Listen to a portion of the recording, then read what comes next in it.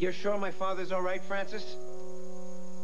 Well, listen, when he gets out of his meeting, have him call me. No, no, no. Better yet, I'll call him. Okay, yeah. Thanks. Bye. You couldn't get in touch with him? No, he's in a meeting.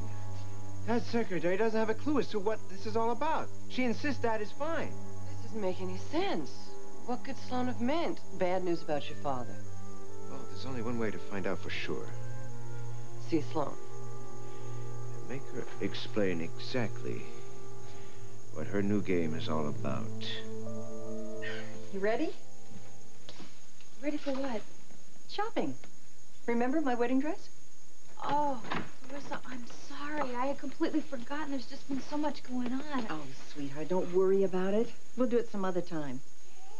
Actually, my coming over here is really just an excuse to come and see my beautiful little granddaughter.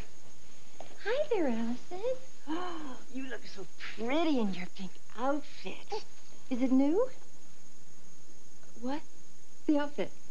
Yeah, I, I just bought it for her the other day. She's got to have the largest wardrobe in Washington, D.C. That's true. I can't look at anything without thinking of her. You know, I know Allison is too little to be my flower girl, but I'd still like to buy her something special to wear at the wedding. Oh, Julie, just think.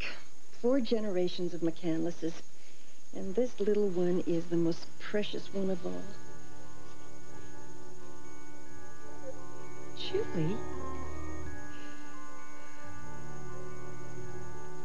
Look, Mr. Sinclair, you had no right to go to my wife and upset her like you did. Especially without my being there. Had you been there, Captain McCandless, I assure you We that I- participated in a completely legal private adoption. Allison is now our child. I am well aware of the adoption process, Captain. As you well know, I was more than casually involved. Then what's the problem here? The mother gave up her child. What does she expect? To turn around and take it back again? She has no grounds. I'm not so sure about that. Not since I saw this.